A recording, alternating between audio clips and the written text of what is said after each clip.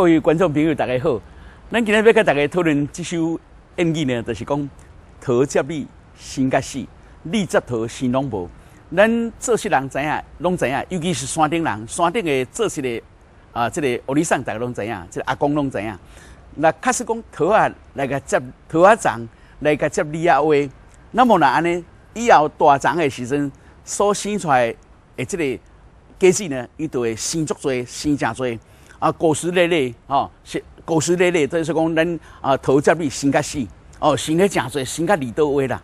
但是呢，若是用李啊长来个接桃啊话，李接桃生拢无，都未死，含生一粒果子都无。是安怎来差别喺这呢？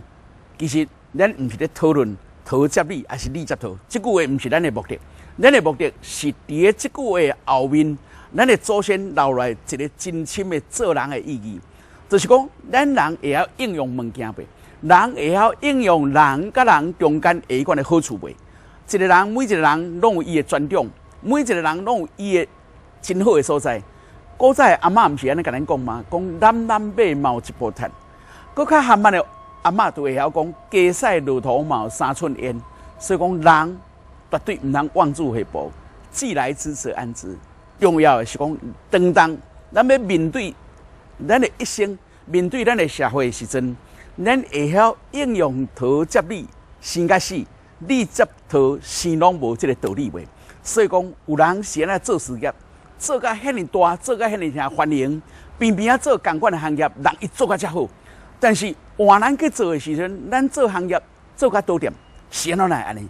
所以讲，这就是你有咧应用即句话也无？伫我的心目中，我要甲大家观众朋友来讨论，应该讲起来，有夕阳的产品，没有夕阳的工业。所以讲，你有去改换无？你有去变换无？变换什么的？变换你的技术无？